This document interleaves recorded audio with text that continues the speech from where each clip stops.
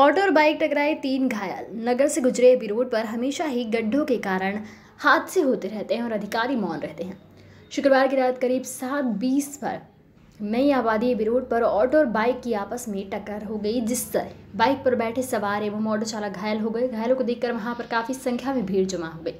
प्राप्त जानकारी के अनुसार ऑटो कनारिया से प्राप्त जानकारी के अनुसार ऑटो प्राप्त जानकारी के अनुसार ऑटो कनासिया से मक्सी की ओर आ रहा था, वहीं बाइक सवार मक्सी से शाजापुर की ओर जा रहा था। इसी बीच एबी रोड, जो नगर से गुजरा है, गड्ढों के लिए कुख्यात हो चुका है। उन्हीं में गड्ढों को बचाने के चक्कर में उपरोक्त हादसा हो गया। वहीं मौके पर बाइक भी पूरी तरह क्षतिग्रस्त हो गई। आपको बता दें कि नगर से गुजरे एकमात्र रोड को बाईपास देवास मक्सी के बीच से निकले मक्सी नगर के बाईपास को समाचारों के माध्यम से, लोगों की आवाज़ के माध्यम से कई बार विषयों को अधिकारियों तक अवगत एवं प्रभारी मंत्री तक अवगत करा चुके हैं। परंतु रोड की सुविधा आज तक न लेना नगर में जनचर्चा का विषय बना हुआ है, जो हमेशा ही हादसों का निमंत्रण देती है और इस तरीके से हादसे हो जाते हैं। वहीं ऑटो चालक भी ए बी रोड के समीप हमेशा ही खड़े कर देते हैं, जिससे भी दुर्घटना का अंदेशा हमेशा बना रहता है। पुलिस द्वारा ए बी रोड के समीप खड़े रहने वाले ऑटो चालकों को स्थान देकर उन्हें बिठाया जाए, अन्यथा कभी भी रोड के समीप खड़े ऑटो चालक भी बड़े हादसे को निमंत्रण देते हुए नज़र आ रहे हैं,